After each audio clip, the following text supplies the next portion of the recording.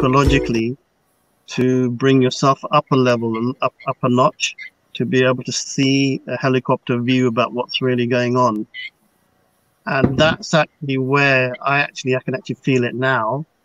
That I actually feel that uh, that's the biggest problem because um, being a rabbit in the headlights is really where I think majority of people are now in uh, what's going on with the current economic uh, and uh, COVID-19 sort of climate.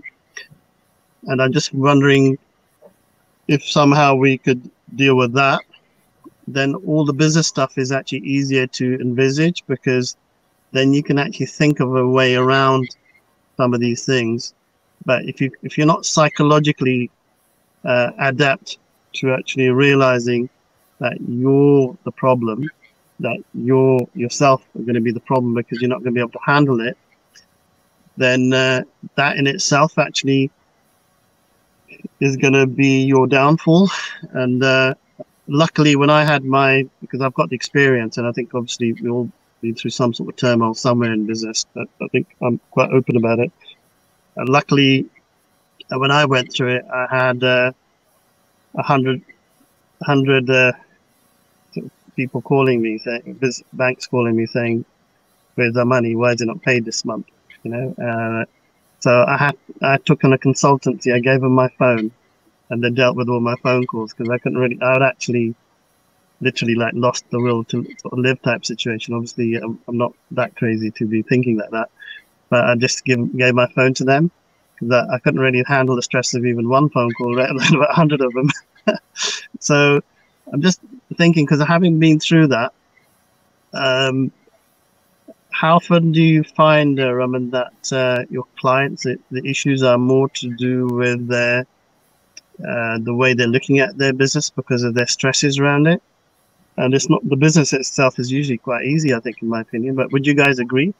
Yeah. Raman, that was ask you first. Yeah, absolutely. That is correct. I think uh, I was going to say 90% of the time that is the case. Usually there is a solution and it's there, or you can always find a way, but it is about how you're feeling and how you're thinking about things. Because if you're thinking, this is the end, I can't get out of it, then you are in a hole and it, you're not going to be able to get out of it. But if you keep thinking, actually, I'm okay, because you as a, per- as, as a person, we've learned so much. We have such a vast knowledge and there's so many resources at hand but if we're closing our eyes or like you said you know you're caught in the uh, headlights you're not going to be able to see it because you're just blinded by what you think the problem is you're never going to see the solution so yeah that that is correct raising vibration is is huge it's um and it's so necessary because right then when you raise your vibration you're not only in a different frame of mind you also have so many options. You think, oh, wait, I can do this. Like you said, the consultancy thing that you did, I would never have thought of that. Let me pass the phone over to somebody else. They can deal with this. Let me just deal with what I'm doing. That's a great way of doing it. Or MSC when you know you, you lost everything overseas, you came over, you started again. That's a fantastic way of doing things. Raising your vibration is what's key because you're more important than your business or your assets or what you have, you know. Okay, well, there we have it from the spiritual accountant. and uh, I think I'm, I actually um, led her down that path, led Raman down that path anyway. Was it me who led you up there, or was that something that you wanted to say anyway? It is something that um, I would say because it's part of who I am. But obviously, you, you do do the leading. Perfect. But but I actually I actually like got a very very strong feeling that this is what it's all about. It's actually about raising vibration, and uh, I wish. I mean, this has kind of come out a bit strange. I wish I could just uh, hug every everybody out there who's actually going through that pain and just tell them it's going to be all right. You know, because uh, that's all they really need. They don't really need much more. They just need somebody to uh, give them a feeling that there's somebody to support them, to love them through these difficult times, but because they haven't got that, because of lockdown, because of isolation, because the pressure is on. Um, luckily, when I went through this, I did have actually family, and out of about 100 people I was working with, I think one person turned up and you won't really, I can't really tell you too much, but it was actually VJ Sal who turned up for me. Ah. He was the only person that turned up. He used to come to my house at five o'clock every morning for about five years, pick me up to make sure that I wouldn't wallow in my self pity. Oh. So, uh, e- even though he's got really the corniest and the worst sense of humor out of any human being I know, uh, he's not here now, so we can say that. Then uh, that's something I had to suffer for five years in the car. So, so you got to thank him for his uh, his uh, raising my vibrations anyway all those years ago. What What do you reckon, MC Fam? It's quite a for me. It's uh, it's sort of almost like it reminds me, taking me back to 14 years ago when I had to go through it, and uh, and and even now, I'm sure we're all going through this vibrational change ourselves as well. Um, but before I'm going to ask ask um, MC Fem, we've got Deborah Sophia Magdalene, who's the vibration queen. Uh, she's saying, I agree, Lakhi. Raising your vibration and seeing situations from a higher perspective is key. Developing resilience, emotional intelligence, being able to change state. This is why I'm so passionate about my work. And she's written, yes, hugs and a sense of belonging. So, uh, MC Fem, what, what do you feel? Because I can I can actually feel what you're going to say anyway. I sort of feel you. Really? Yeah. yeah, of course. Um, I think uh, we have to think about the ego, and I think it's when our businesses are built, or our homes, or our status, or whatever we have is coming from the place of ego. That's when you feel you've lost everything. Um, I fa- I did find that ab- abroad because my ego was built in my business in a way. I was my business and what I did and my ego and building luxury villas and living the dream and my kids in private school and going out on yachts and that was quite ego based I feel which is why the loss of that was so bad for me if you see what I mean. Now I I'm not built from the ego anymore. Um I have a much more steel core and no matter what happens in my business i'm detached from that because I, I have a business but i'm not the business. So i'm not the job. I'm not the house. I'm not the schools my kids go to. I'm not where i the fancy place i might get my hair cut which i don't at the moment actually. I do it myself. So i think um and those people who who commit suicide when their whole business goes under is because they have they have not seen any difference between um, and then when you're coming from the ego you're on a very low vibration. So um, i think that probably needs to be talked about more um, and i don't feel it is uh, because when we start talking about vibrations and energies uh, the world has shifted. It's something that is talked about much more in the mainstream now. But for most people in business uh, in the UK, it's not really something that's talked about. You you know, you're not going to get Boris on his things going right. Everybody, let's keep a high vibration here. Let's remember we're, we're not our business. We're not this. We're not. Those conversations are not happening. They're not talking really about mental health, about eating good food, about exercising. Um, so the really main things that are going to get us through this is not even being discussed or acknowledged. Uh, but it's good, like we're having this discussion, but how many people are having this discussion really? And things do fall apart. How many people are actually telling people why this is falling apart is because of your attachment to this, and your attachment to this is not real because this is really not who you are in your core. And you've got to find your core and find who you are and then you will never lose everything. You only lose everything if you lose yourself. Um, and I've had to learn that one. But um, and I teach that to my children. But we're not teaching this in schools. we're not teaching this in business courses. We're not even teaching this in, in management courses, or or we're not teaching this in property courses. So uh, yeah, I, you know, if I could, I'd go on a bus around the UK, spreading the word but I'm not allowed to travel. So yeah. I, mean, um, what you're saying is such a priceless point, I would say, for a lot of people, but a lot of people won't necessarily engage or connect or really understand it the way that point needs to be understood, because I think it's a very profound point, which is uh, letting go of greed, ego, and uh, sort of say um, selfishness.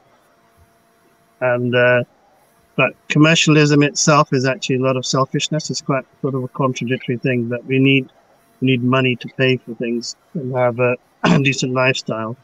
So where do you how do you, how would you say Raman you could draw the line between ego and uh, purity because they they're two completely contradictory things. I actually sit in Mayfair every day and I sort of cringe with about ninety percent of things that I see a lot of things do actually disgust me. Yeah, very honest, because uh, uh, I'm very, um, I'd say I'm quite a, a spiritual person. uh, but in business, uh, when you're dealing in uh, the core of London, uh, you see a lot of nasty things. And I wouldn't really want to be associated with those sort of people or that type of culture either uh, I actually see myself as a UK wide or international entrepreneur uh, and not really uh, uh, caught in the vices of uh, Mayfair, which, which is a, tiny bit dark sometimes. So, how would you distinguish that? I mean, it's, it's quite an interesting topic. Hmm. Uh, and again, it's um, it's different for everybody because everybody is made up of different things, even though we are made up of ego and our soul, which is the purity side.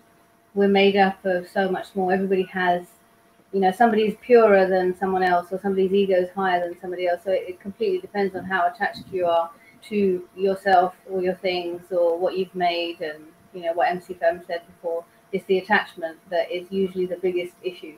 Um, and obviously our pride, which comes into it. Um, so it completely depends and the other thing is if you if you do things that require your focus so not only business or your work but some form of spiritual meditation or some kind of focus then you're able to stay with yourself more in the present more rather than thinking towards the past and being depressed about how you don't have what you have or thinking about the future and being anxious as to what it's going to bring. Instead don't lose today and the opportunities you have today. So that is where you lose the ego, if that makes sense. There we go. Another very important point from a spiritual accountant. you, if, you, if you can let go you I suppose the ego, and then it, everything becomes a lot easier. I'd say, yeah, I, I would agree. Uh, I actually, I think uh, I was trying to work out whether I, how much of an ego I had. Um, when uh, Vijay Sal came to help me, he said, "You're." He actually said to me that you're. Uh, um, well, I'm not even going to say it. Actually, it's a bit embarrassing. But he, he actually, I'll just say it in a slightly different way. He said that you're a very, uh, you're not even like materialistic. He said to me, he goes, you don't even like care about money uh, because you just drive an ordinary car. you've got like an ordinary house you're very you're not sort of like uh, lavish in what you do. So, um, so so the question is really um, I, I, think I just lost out. I, I, was I think it wasn't ego so much. I was just it was just naivety because I just thought the market's are really going to go up and up and up. And I think uh, I just uh, I was enjoying the deal making you know like oh I got a deal got a deal. So I think it wasn't ego. I think it's more of a uh, an addiction to deal making because I just I just sort of love making deals. It's good fun. Um, so I think it. Um, so I think being aware of one's behaviors is very important because uh, I mean I'm a non-drinker, non-smoker, don't do anything that's you know even given up coffee now and tea. Um, so don't so don't do drugs, yeah, coffees and teas. So I, am just thinking but nobody's perfect. You've still got certain vices or certain traits, and you've got to learn to be able to counter them. So I actually think uh, I enjoy the thrill of actually maybe negotiating or winning a contract or uh, maybe you know there there's probably still not perfection in terms of how I like to be. So how where do you draw the line then, the MCFM, in terms of being uh, a um, business person and letting yourself, you know, drawing a line between getting too attached to things. You know, it's quite a difficult balance, isn't it? I mean, if you if you didn't do your running this morning, your meditation, I'm sure the day would be different for you. Yeah, absolutely. Yeah, I think uh, it's the daily rituals for me, really. Um, also, I have a tendency to be a workaholic but no just for no particular reason. I try try not to be, but I am. Um, so yeah, you're right. You're always going to have vices. You're always going to have um, things. I suppose um, gratitude is probably where I live my days. I think gratitude is enormous, really. Um, I wish I'd learned about gratitude a long time ago. I, I, would say I've lived my life in in a lot of gratitude, probably for the last four years. So that's made a huge impact. Um, but yeah, I, I don't have. Um, I think it's just pure living, um, going back to basic, um, the body, the mind, the spirit. Um, and when you do go off track, as you will, um, because you've built those rituals and you, that is the biggest part of you, it's much easier to come back again. Because obviously, we're all going to have difficult times in life. Um, things are going to come at us that we're not expecting. Um, and but it's much more easier to deal with that when you have that clear headspace, which you get from meditation. Or I have quite a strong faith, uh, so you know it's, it's it's things that are that you can't see those things that aren't physical things i suppose um, is what makes the biggest difference in in my life for sure. Yeah, i think uh, this morning is more like a sunday morning uh, sermon. Yeah so the sunday. for the, non, the non-believers out there so you've got the spiritual accountant and you've got the uh, spiritual uh, mcfm uh, but I, I actually think that this is probably one of the best um, interviews because VJ Sal isn't here, but it's me doing it. Uh, but uh, I think my, my interviews are a bit more profound. But VJ Sal probably have a big argument with me about that later. but we have, I think we have touched on a very important topic uh, which is that uh, whatever issues you've got in your life, whatever's going on, whether it's health or money or business or COVID 19 or whatever's happened, basically can't control those things around you, but you can control yourself. You can actually look after yourself. You can love yourself. And I think if you set yourself a very positive intention, which is to say that everything's going to be fine for me and work on the positive, you'll find that everything will start happening around you. I mean, this morning I came out with that intention and uh, two wonderful ladies were popped up on, on the screen. I mean, amazing. I mean, this has made my uh, whole day. can you feel the vibration? Yeah. Yeah, it's been fantastic. Actually, I I find this conversation has calmed me down from when I first came on. So yeah, there's a fantastic energy, and um, we're all aligned, which is so nice. You don't get that that often, if you know what I mean, or you don't feel comfortable enough to maybe share that in in certain situations, or you know. So yeah, it's very nice. Yes, I think I think the audience uh, us, we're all blessed really to to really be having this conversation really because I think it's really for the audience, the community to realize the conversation we're having really how powerful it is. Um, so I am like really, really feel truly blessed for this conversation. This could be life changing. I'm not even joking. It could be life changing for millions of people out there who listen to this and really took it to heart. Uh, I certainly feel it's life changing for me, and I'm definitely going to take it to heart, uh, no matter what anybody thinks or says to me about it. So, um, I know we've overrun today, but uh, I think we've touched upon vibration and actually raising the vibration. So, what I'd like to do is just have a quick uh, minute from each of you just to sort of say, because we now understand where we are, we, we understand detachment, we understand what we need to do. Raman, what is it daily practice that you think people could be doing to try and take themselves into position of detachment so they can run a better life or run run their business more effectively? What what is it that just give us two or three tips that you think could work and help them? Because now we've touched upon it, and I'll give my summary of uh, the business opportunity afterwards.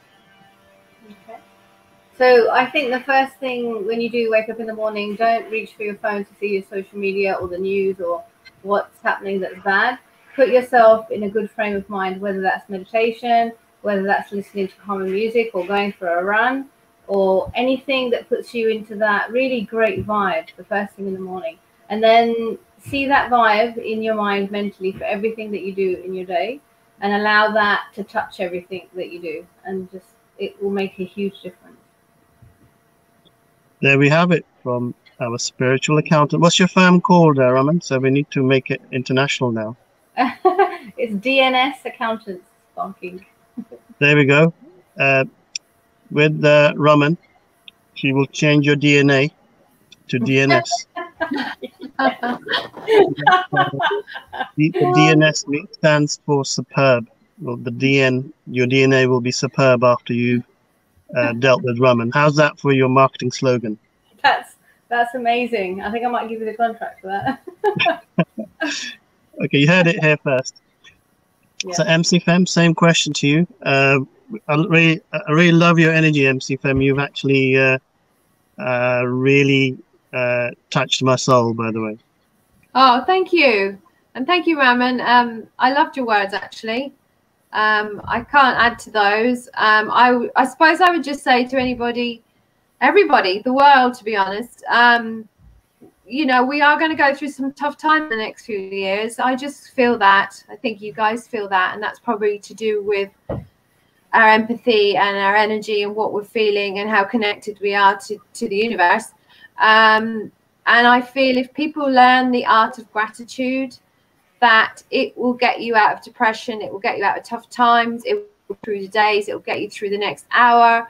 And so I would always say, um, if you start the day and you're just not feeling it, just find those things to be grateful for. And um, even if it's tiny things, and, and every single day, 10, 20 times a day, depending how you're feeling, keep using that and it will change your life. Absolutely. And anyone can do it. It's that simple. Okay, perfect. We've got uh, a couple of minutes, but I just, well, we haven't got minutes at all, but I'm just going to add on a couple of minutes. Everybody's okay with that. It's going to be um, a whole morning. We're like TV-am now from 6 to 10. That's right. I think uh, work out GMTV. Piers Morgan's gone now. I think we're taking over. he needs you, Lakhi. He needs us. Um, okay. So two amazing summaries of really some tips for everybody out there about uh, what you could be doing to actually be in your flow. And uh, if you feel that you're not in your flow at all, even if you're 1% out, then do DM us in the community and feel welcome to DM me directly because I've got a lot of love to share. A lot of people don't believe it, but I am 24 hours. So if you wanted to call me three o'clock in the morning, uh, I don't really mind, to be honest. Really, uh, I'm happy to sort of help or assist. Um, uh, long as it's not long as it's not every single night at three o'clock. It might be a bit disturbing, but um, Okay, so that's a different kind of call. cool, yeah. um, so, Mary, what are you saying? I said that that's a different kind of call altogether. okay. Um, okay, good point. I like that. Right. So, Right. So where was I? So basically, to summarize, if you're looking to work from home and you're looking for a new income opportunity, uh, the property fixer here, Lakhi Singh, uh, we're offering that out to you. Uh, but what I want you to guys to remember is that the opportunity is just an opportunity. It's really about you raising your vibration. If you raise your vibration, you're going to be able to help lots of people. If you can help people, you'll find that whatever opportunity that we've got for you will have meaning to it and it will actually give you a better vibration about yourself and actually while you're helping people and you'll make money uh, so that's my sort of message for today uh, so lots of love to uh, everybody out there from Lakhi Singh the property fixer and uh, Uh, my two angels here uh, raman and uh, mc fem uh, I'm blessed actually. So I think I don't think I've actually felt this good in years and years. So I, I actually am truly blessed. Okay. Thank, Thank you. you, guys. Thank you. You have a, you have a wonderful day. Yeah. Thank you. Thank very you. much. Thank you, Raman. Lovely to